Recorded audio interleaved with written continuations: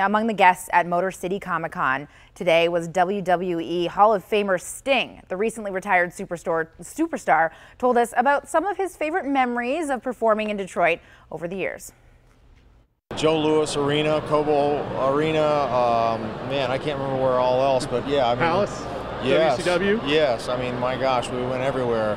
Uh, I remember uh, Ric Flair wrestling Ronnie Garvin. I was still kind of a little peon kind of a guy at that time, and he wrestled Ronnie Garvin, and we had a sold-out house at Joe Louis Arena, $110,000 gate, which in those days Sure. was enormous.